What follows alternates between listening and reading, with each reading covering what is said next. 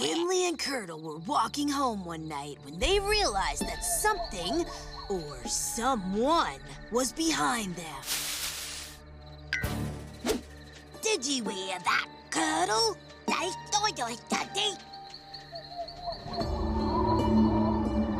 You heard that? And then they started walking faster and faster.